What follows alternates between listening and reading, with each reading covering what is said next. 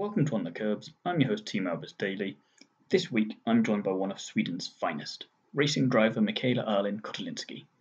This year, she's joined Jenson Button's JBXE Extreme E racing team. She's driven alongside the man himself, Jensen Button, in Saudi Arabia, and now with new teammate Kevin Hansen in Senegal. We caught up recently, to chat about how she got into motor racing, the importance of Extreme E's legacy projects, gender equality in motorsport, and much more. I hope you enjoy our conversation.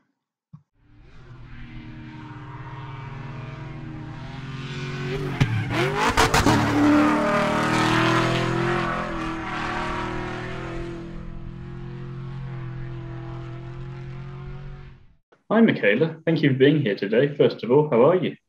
Hi, Timo. Thank you. Um, I'm great. Actually, the sun is not shining in Sweden. It's raining. Uh, oh. But otherwise, no. But uh, otherwise, I'm I'm just feeling great. It's nice to have nice to have summer. Have a little bit of a break. Now it's about uh, one month till we do the next Extreme E round um, in Greenland. So super excited about that. But thanks for for being here. No, it's my pleasure. Happy to have you. And uh, first question I always like to ask everyone who comes on here what first got you into motorsport? For me, it was, uh, I would say, uh, I mean, it was a choice in the end. Um, and I would not say that I was forced into it, but of course, I was influenced by by my family. They did pretty much everything except Formula One. Um, he won Paris Dakar, he drove Formula cars, Nürburgring, everything. And then uh, my mom was a rally driver. And then, of course, she met my dad at the rally. So he was also a rally driver. And my brother was a rally driver. So, as you can see, a lot of motors. Yes. And I usually joke and say that I didn't have a choice, but I did do have a choice. Uh, so I started with go karting when I was 12. Did, though, drive on the ice the first time when I was uh, 10 years old in a car. So that's the story for me. To get used to that quite quickly then. Yeah, I mean, funny story is that my parents used to work as uh, instructors by ice driving then and ice drifting. And then it was just easier to put me and my brother into another car so we could drive on the other side of the lake while they were having their customers. And that's the way it started. So it was easier than having a i don't know a nanny or something like that. Definitely different way of doing things. I like it though. Yeah it's fun so do you, do you think that's going to give you a, a, little bit of advantage then when we get to Greenland then because you've had all that practice on the ices from a young age already? mm, the thing is though, we are actually not going to race on the ice in Greenland. A lot of people think so. Uh, we are actually going to race on where the glacier used to be, also to show how dramatically it is melting away. So it's more, it's going to be more of, um, of a mud, muddy uh, race, I would say, um, in Greenland but definitely excited to go there to see the place, also to showcase for the fans where we are going to race. And uh, being a, a, part of Scandinavia, it's the closest to a home race that I can come. Hopefully, it goes well for you then. Um, let me say you because you've you say you you've been influenced by like the off-road racing that all your family does and everything. But then you did quite a bit of track racing. So then, did you just decide it was time to to see what the fuss is all about, and that's what attracted you to Extreme or what happened? Um, no, I would say it was it was kind of a coincidence. I was doing a, a job together with Continental because I've been working mm. with Continental since 2018. And then we did the tire launch of a new winter tire and uh, worked really well. And then I heard about Extreme and of course, I thought it sounded really epic and really cool, but I also knew that it was a bit out of, or maybe quite a lot outside of my comfort zone. Uh, but I did get a question from them to help them to develop the tires for the series. And I was very open and said that I don't have a lot of off road experience. They said, We do, however. Uh, and that's what you also can see now with season one with so limited testing because of COVID. Um, still, the tires are performing really well and it's working mm. really well. So I, I just love the whole concept about the racing series and the idea. And I've always been of a, a, kind of a sometimes in a good way, sometimes in a bad, but a naive person thinking, you know, whatever, let's just try it. Pretty much like Pippi uh, Långstrump, Pippi Longstocking. Like, I just head into it. I'll try it. I'll do my best. That's all I can do. And I am so happy that I took the opportunity because Extreme is by far the most the most exciting racing with with the new format with female and male drivers with the whole the whole aspect around the series, it is the the most exciting series overall that I've ever been a part of. So when you just look at it on paper before you even see any of the footage, it just sounds like such an epic kind of thing to do for a championship. You're like, oh, okay, I'm really, I'm just where do I, where do I sign, where do I watch? Exactly, exactly. Part of that must be uh, incredible. Um, exactly. What's then been the biggest challenge for you from Extreme E so far? I would say, like I said before, lacking the experience of off road racing, that type of racing. Uh, I am so happy that I have my ice driving um, since I was 10 then every winter because without that, uh, I would really be, um, it would be really tough. It is still tough uh, because a lot of people there has a lot of experience, but I mean, the, the teamwork that I've had both with Jenson in the first round and then in the second round with Kevin has been really helpful and we've really developed as a team. So um, I feel I feel ready for Greenland, and uh, it is limited time in the car, but you have to try to adapt quickly and see the situations, and that's why I'm also happy to be part of the series from day one. So I suppose in a way it's, it's limited experience in the car, but at the same time, because it's something slightly different from what everyone's done, there's only so much of an advantage other people can get from that as well. So that too and then also because we have so limited time of testing and driving. So there is i mean you have the recognition laps that you get to do um, not with the extreme e car and then you get one practice lap and that's it. Then it's head out to to qualifying session. So it's a little bit also about management risk management but then also to take um, to be quick because as you can see if you look from the qualifying rounds we're speaking seconds of uh, of yeah mm. nine minutes laps with two drivers. To, I don't know about you, but I'm used to seeing just like half a second at most being taken out of a lap, and you're getting like 20 seconds on these kind of laps. Like, how the hell are they finding all this time around the place? It's just it's mental.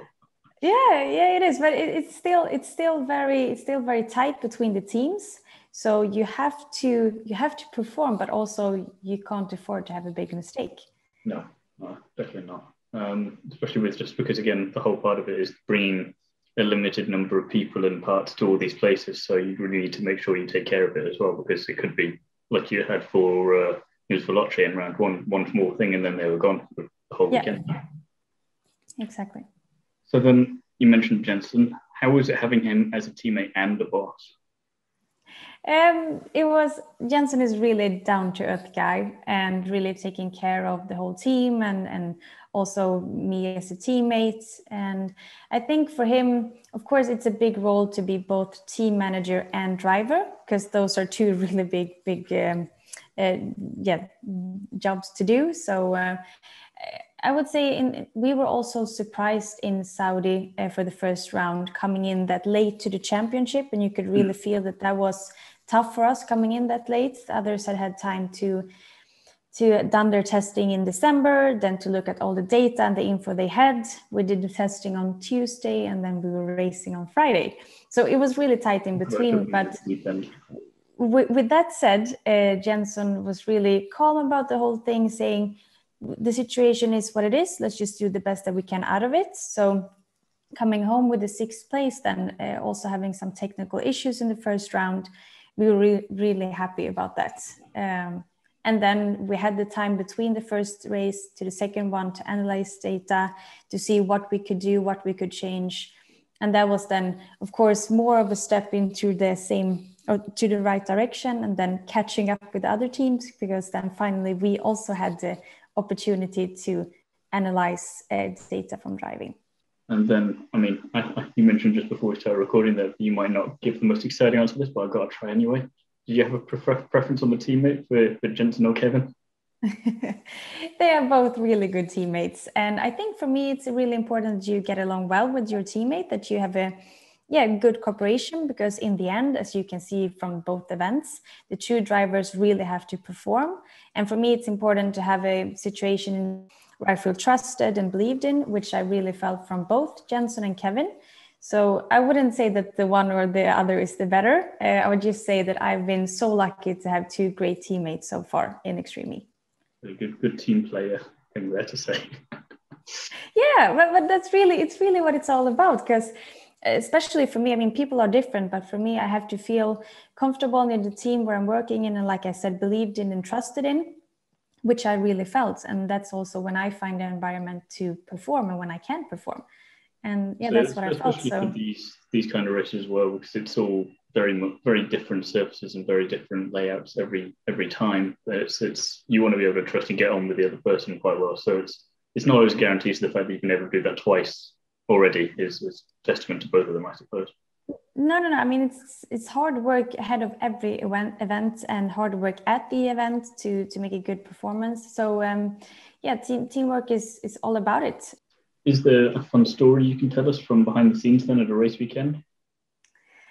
Uh, yeah, I, I hope the guys don't get uh, angry with me for saying this, but it was quite funny. So in in Senegal, we were told that uh, the chief uh, mechanic and engineer he said that if you win one of the finals on the Sunday, the whole team is going to take a swim in the pool by the hotel. And mm-hmm. I didn't believe that they would do it.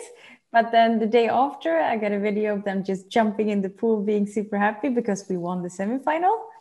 And I thought that was great. I thought that was really funny. So uh, yeah, that was that was a good thing. I mean, we were so happy after Senegal.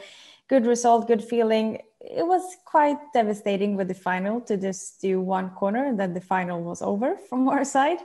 But on the other hand, to get a result like that, it was really it's, good. It's like so, you say, considering you came in late and everything, it's good to have that that progress in the right direction. Then, so even if it didn't go, go entirely plan, you still got that got a bit further in that sense. So it's good. And then obviously everyone's just loving it so much they stick to their word and they, they do the bet.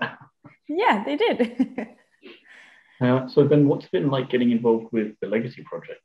Because again, that's a whole other side of things that you don't really have in other motorsport.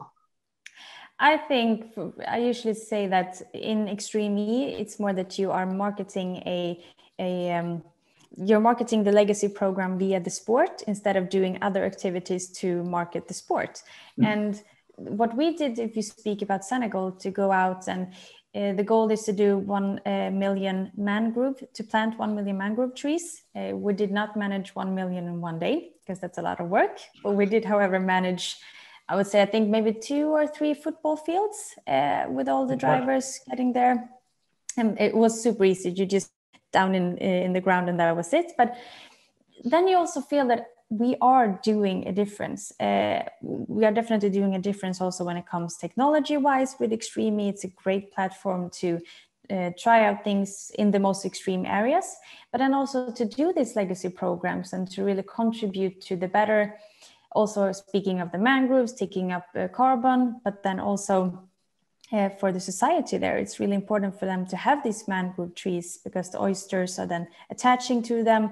They are then taking away the oysters, selling them so that they can provide their families. And coming to societies like it was in Senegal and seeing how it is, knowing that we can make a better change or make make it better for them with the legacy program is so important because this series isn't just about racing and winning I love racing, I love winning, I love making good results. Uh, but then on the other hand, to have this important message uh, on the other side with the or the same side as as the racing, it's it's really it's it's everything you can ask about. That, that that's at least what I feel.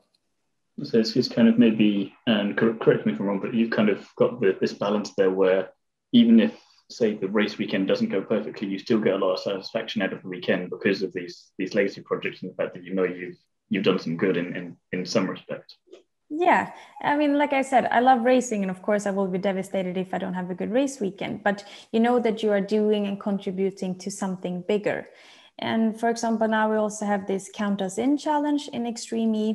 It's it's easy steps. But if you read those steps and you're thinking, okay, maybe I can try to think about this and I can try to do this, all those things matters. Maybe not if it's only you, but if we can create a community like Formula One, have that many fans and everybody are doing these count us in steps, it is going to be a big impact in the whole world. And I, I feel that that's that's what extreme is all about, making it making the world uh, in a better place, but then making us people also to better humans, thinking more about what we are doing.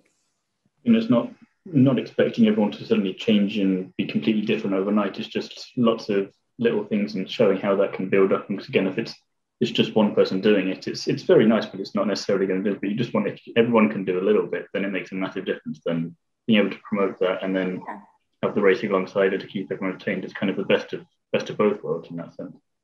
Yeah, and then also in, in a positive way, because don't get me wrong, climate change is really negative, but very often it's it's like finger pointing and saying you have to do this, you have to do this. But if you try to make the change in a more positive manner, uh, I do believe it's easier to, to do something. It's like hmm. it's like working out. If someone is saying you have to work out, but if it's more, oh come on, let's have fun. It will be fun. You will feel hmm. good afterwards.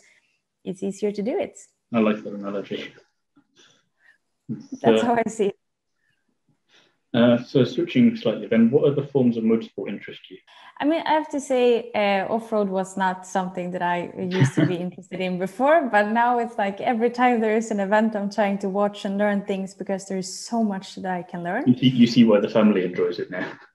Yes, I like circuit racing too. So watching other, I'm racing TCR in Sweden, so watching other TCR races, WTCR um, watching rallycross, I think that's also really exciting. Of course, now watching rallycross, the latest event where Kevin won was really highlights. Uh, mm-hmm. so, so yeah, I like to um, have like to have a look into other motorsports as well. But I have to say, lately the off-roading has come closer to my heart.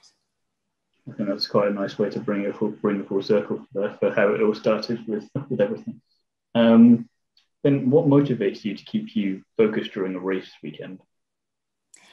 Um, I, I love what I do. And I think I've, I've really done that ever since the start. And what motivates me in general is my passion for what I do. I, I love driving cars. I love finding that great feeling. And I also love the challenge. So Extreme is very new to me, and there are a lot of new challenges to me. But I love to develop myself and see where is the limit for me? Where is my my maximum the best that i can reach? And i think those are the things that motivates me during a weekend as well that i really want to be as focused as i can and make the best thing as i can because i want to see how far can i go as a driver uh, in these series I was just find it interesting to see what, what people say to that because again, it's, it's whenever there's a, whenever it's a good weekend, it feel I feel like it maybe it's easier to keep yourself motivated. So I always think when it's a a tricky one or you're coming into something you're not too familiar with if it's the same thing but it's just that passion just fuels you so much and gets you so far.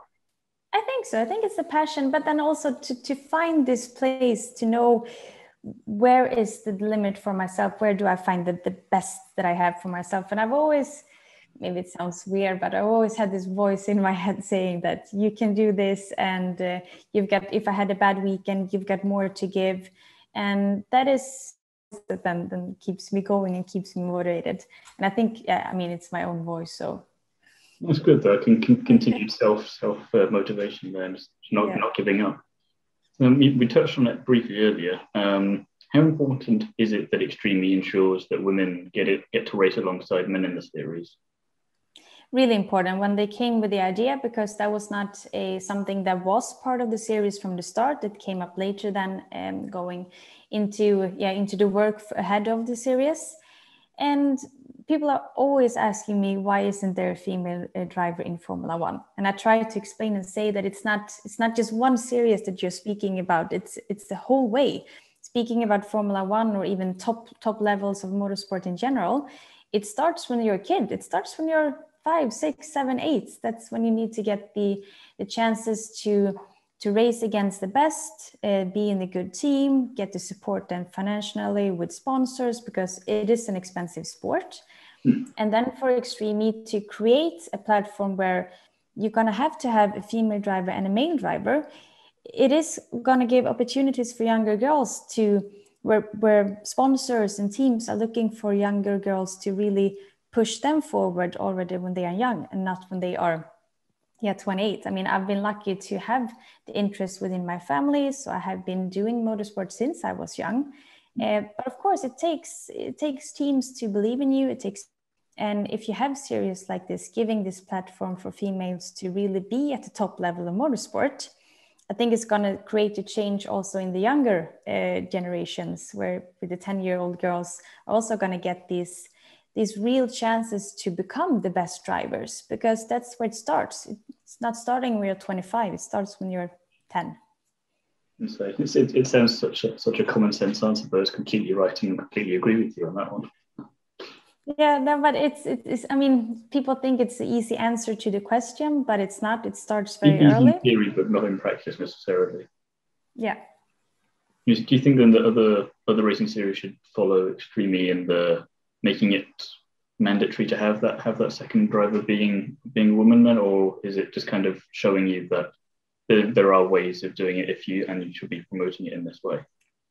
I think it's great you're promoting it in this way, and where it is possible to make that format, uh, you should do it. However, if you look at Extreme E, I mean, it is completely new in so many ways. So they had the opportunity to just to just create whatever they wanted, uh, which they which they did and did really good. But I think for other series, you have a set format, you have what it is, and then maybe it is hard to change. Um, but definitely, if the possibility is there, I think it's something you should do. Then finally, something completely random. Would you rather be able to speak to all animals or would you rather be able to speak every foreign language? I've been thinking about this question. And first, I was thinking mm, to speak all the languages would be really exciting because then you can speak to all the people all over the world. But then I realized that, I mean, if I do try to learn uh, other languages or maybe other people speak English or Swedish, what do I know? I will, however, never learn how to understand what an animal is saying or thinking. And my mom and dad, um, they got a, a, puppy. Well, now he's soon two years old, so I'm not sure if he's a puppy anymore, more of a teenager.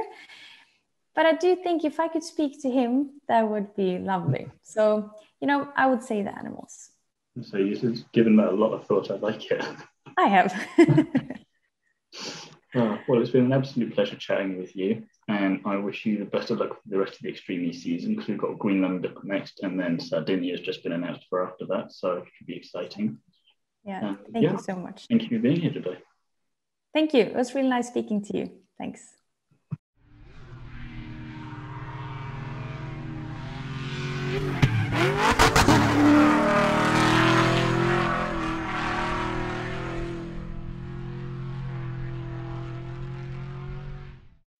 It was lovely chatting with Mikaela. I loved her insight into the Extreme Legacy projects in particular, and how important it is for all of us to do our part when it comes to tackling climate change.